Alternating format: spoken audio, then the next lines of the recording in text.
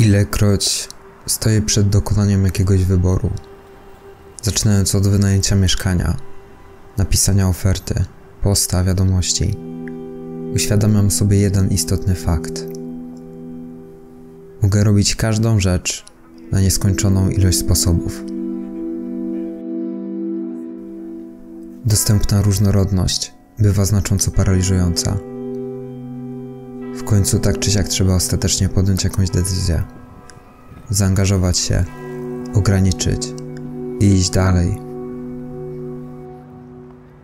Myślę, że nikt nie lubi tego uczucia ciągłego poszukiwania i nieokreśloności. Nazywamy to na co dzień błądzeniem albo niepewnością. Życie to bardzo dziwna, tajemnicza i chaotyczna rzecz. Pewnie jeden z powodów, dla którego nie zawsze chce nam się w kółko o czymś myśleć czy analizować. Lubimy prostotę, ułatwienia. Ilekroć zastanawiam się nad tym, o co w tym wszystkim chodzi, zdaję sobie sprawę z tego, jak bardzo nasze życie kierowane jest przez lęk i przetrwanie. Oczywiście nie chcemy w to wierzyć, ani o tym myśleć,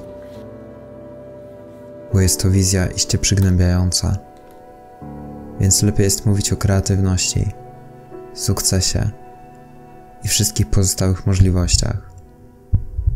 O miłości, przyjemności, podróżach, o tym, że damy radę, jesteśmy niesamowici, wspaniali. Każdy ma przecież jakiś unikatowy dar i możemy uczynić świat lepszym miejscem. Budzę się i życie jest normalne.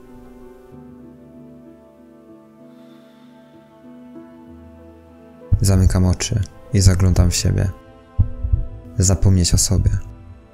Zatracić się w robionej czynności. Nie myśleć. Co za ulga. Ale co to? Kolejne narodziny. No tak, nastał nowy dzień, czas stworzyć nową opowieść. Nową narrację o nowych poszukiwaniach z nowym bohaterem posiadającym nowe przygody, ratującym nową księżniczkę, odnajdując nowy amulet gubiąc się w nowej abstrakcji, jej symbolice, fantazji, bólu, problemach, rozczarowaniach, sukcesie, zwycięstwach, zachwycie. Pobudka. Zdecydowanie lepiej jest się wysypiać. Jak długo trwa dzień? Czym jest czas, na który wskazuje? Pobudka. To dziwne. Myślę, że nawet w psychiatryku nie mają aż tak białych ścian. Wow, mogę tylko stworzyć wszystko to, co chcę stworzyć. Jednocześnie nie mogę stworzyć wszystkiego, co chcę stworzyć. Bo co to znaczy stwarzać? Myśleć o czymś, wyobrażać sobie, a potem dokonywać czynności reprezentujące te wyobrażenia i ewentualnie wpływać na innych, przekonując ich, by wierzyli w to samo. A skąd bierze się owa myśl? Co ja robię, że się ona robi? Jak nie myślenie samo się dzieje z siebie? A w co ja wierzę, jak nie w to, w co wierzą inni? Kto więc był pierwszy ze swymi wierzeniami, ja czy inni? Czy ja mam większy wpływ na innych, czy inni na mnie? A może mam taki sam wpływ jak inni? A może ja i inni stanowią to samo? W końcu ja dla innych jestem jak inni dla ja. Inni to trochę więcej ja sklejonych razem. Już wiem, to moja duchowa praktyka. Błądzę, by szukać. Znajduję, by się cieszyć. Zapominam, zaczynać od nowa. Całe życie w głowie. To prawie jak masturbacja, ale bez masturbacji.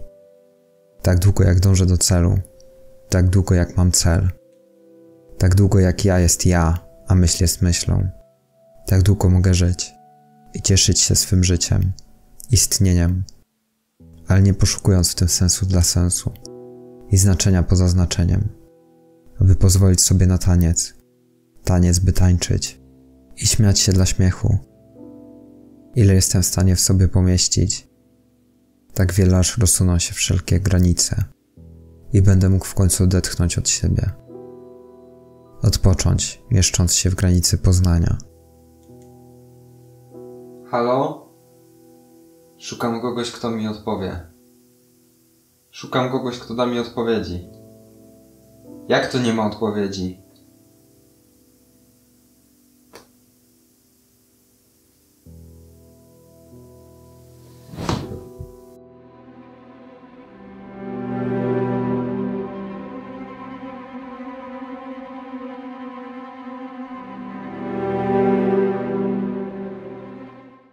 Generalnie sam temat zdrowia psychicznego to jest dla mnie bardzo olbrzymi temat. Poświęciłem sporo czasu na to, żeby studiować tematy związane z rozwojem osobistym, samopomocą, sukcesem, rozwojem duchowym, transpersonalnym, tematy związane z medytacją i muszę Wam przyznać, że im więcej wiem, im więcej poszerzam swoją wiedzę w tym zakresie, tym coraz więcej widzę, że te wszystkie tematy dotyczą praktycznie tego samego, czyli nas jako ludzi w relacji do otaczającej nas rzeczywistości. Możemy to połączyć z różnymi nurtami duchowymi i popatrzeć na to jak na człowieka, który szuka Boga, albo człowieka, który chce się spełniać w życiu, albo człowieka, który szuka jakiejś większej całości. I ten motyw ciągle się powtarza, ciągle się powtarza we wszystkich duchowych wierzeniach, w religiach, w chrześcijaństwie, w buddyzmie, w hinduizmie. I ja widzę to wśród ludzi, że każdy człowiek poszukuje, poszukuje tej duchowej całości. I szczególnie jest to widoczne teraz, w sytuacji pandemii koronawirusa, gdzie jesteśmy odcięci, każdy jest w dużej części samotny, nie mamy takiej możliwości, żeby się spotykać. Dominuje lęk, dominuje niepewność, dominuje chaos i myślę, że to są świetne czasy, które umożliwiają nam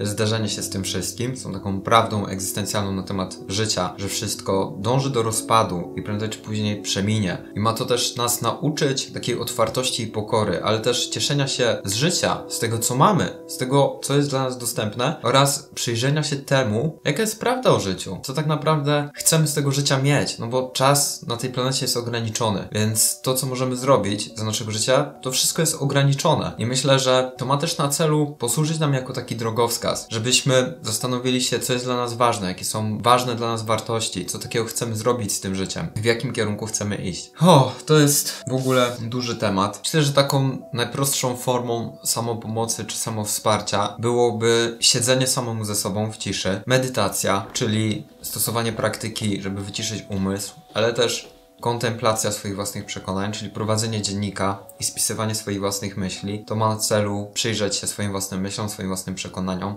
dostrzec to, jak bardzo jesteśmy zmienni, że nic nie jest stałe. To, co jeszcze możemy zrobić, to jest praktyka pracy z ciałem, yoga, trening siłowy, zmiana odżywiania, na dużo zdrowsze. Myślę, że możemy również zadbać o relacje z ludźmi, o fajną, przejrzystą przestrzeń wokół nas, o nasze zdrowie psychiczne w kwestii intelektualnej, to jak rozumiemy świat. I tutaj warto jest czytać książki, książki samopomocowe, książki samorozwojowe, książki, które pozwalają nam zgłębić siebie, lepiej zrozumieć psychikę oraz to, jak umysł sam w sobie funkcjonuje. No i przede wszystkim słuchać ludzi, którzy mają jakąś wartość nam do przekazania. Tutaj polecam pokorę, czyli otwartość umysłu po prostu na różne perspektywy. Nie chodzi o to, żeby siebie poniżać i uważać, że wiesz mniej tak i jesteś gorszy. Chodzi po prostu o samą otwartość, bo życie jest w ciągłej zmianie i przekształceniu i żeby nadążyć za tym wszystkim trzeba ciągle się uczyć i ciągle mieć otwarty umysł na to, co się dzieje. Przy samopomocy bardzo przydatne są techniki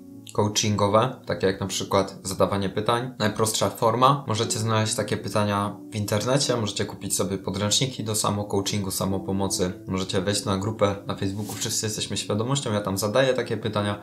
Możecie skorzystać z mojego kursu samopomocy, gdzie wyszczególniłem najważniejsze pytania terapeutyczne, samopomocowe. Możecie przejść przez taki proces samodzielnie. To nie zajmuje dużo czasu w stosunku do tego, ile wartości możecie z tego wyciągnąć. Możecie również sami ze sobą przetrawić swoje własne myśli, przetrawić swoje własne uczucia.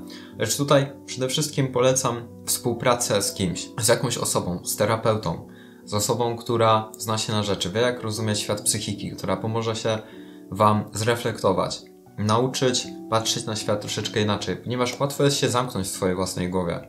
Łatwo jest ulec swoim własnym zniekształceniom, nie dostrzegać tego, co jest po drugiej stronie naszego życia. Dlatego relacje z ludźmi są bardzo ważne w naszym życiu, jeżeli chodzi o zdrowie psychiczne.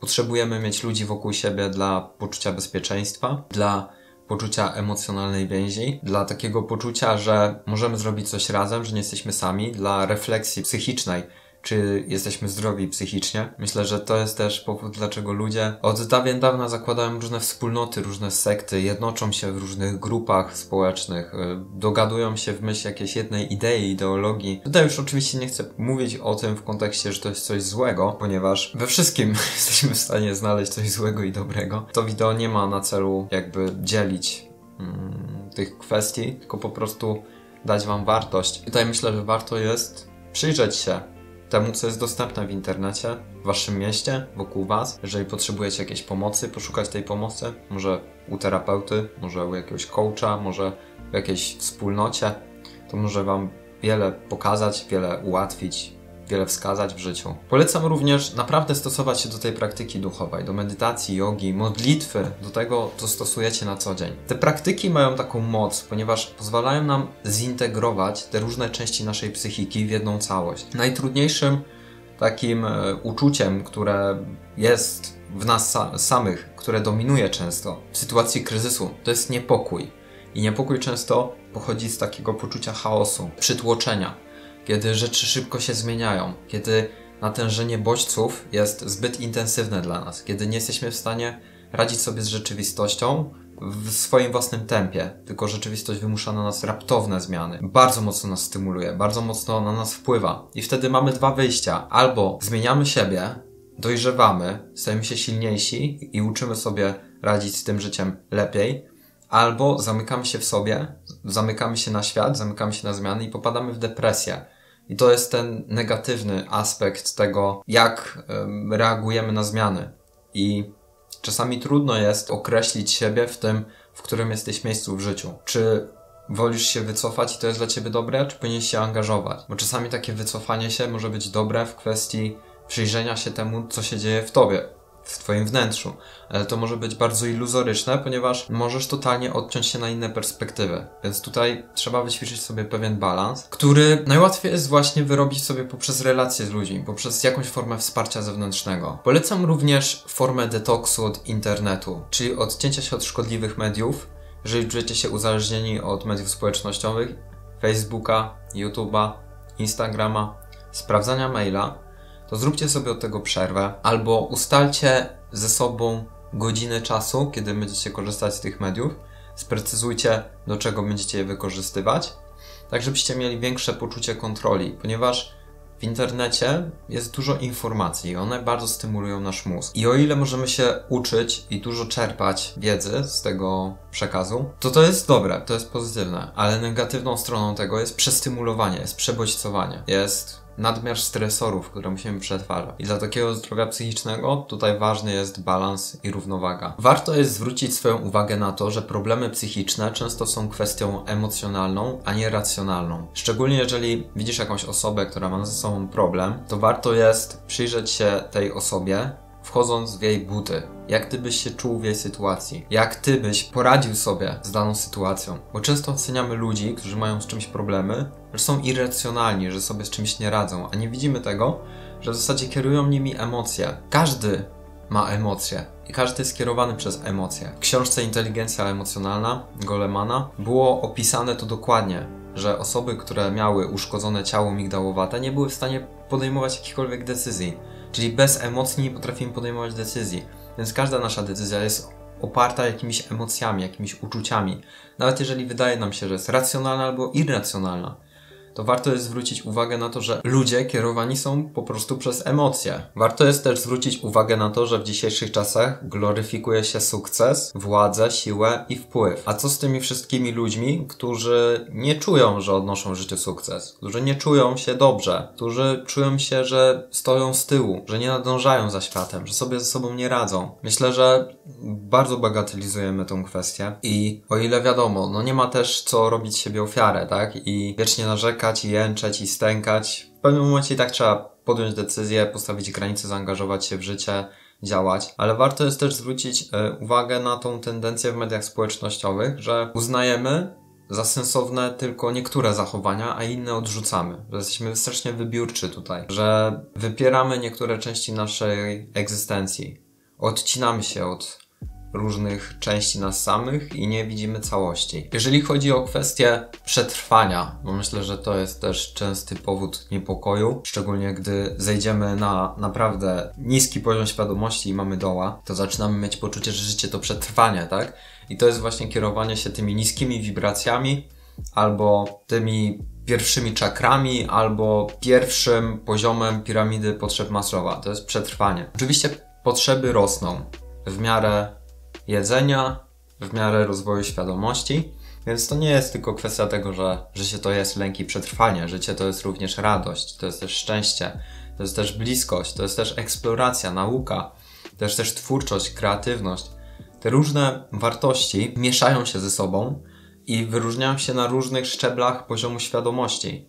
I warto jest mieć na to swoją uwagę, że z poziomu świadomości, z którego patrzymy na świat, tak widzimy życie. Jeżeli widzę na świecie miłość, jestem na poziomie świadomości miłości, to dla mnie życie jest miłością. Jeżeli jestem na poziomie świadomości rozumu, no to wszystko jest dla mnie logiczne. Wszystko ma jakąś spójną całość, ja mogę to poukładać.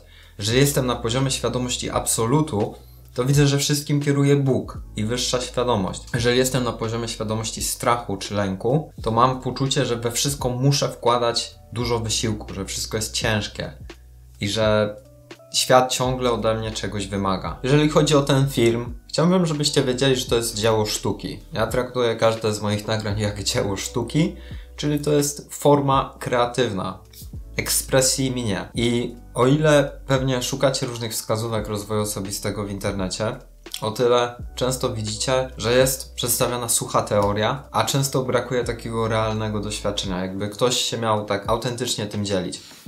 Dlatego ja postanowiłem, że chciałbym się dzielić autentycznie tym, co czuję. To nie znaczy, że przekazy innych osób są gorsze, bo są nieautentyczne, bo ja jestem jakiś lepszy. Nie, oczywiście też odgrywam tutaj jakąś rolę, więc ta kwestia autentyczności jest bardzo kwestią umowną. Natomiast chciałbym, żebyście wiedzieli, że te wszystkie rady i wskazówki trzeba wcielić w życie. Nie tylko popadać w fantazję, nie tylko odlatywać, nie tylko oglądać filmy, trzeba działać, trzeba praktykować medytację, uważność, jogę, self-inquiry, pracować z przekonaniami, realnie, ze sobą, prosić o pomoc, jeżeli jest potrzebna. Trzeba coś zrobić, żeby była jakaś zmiana.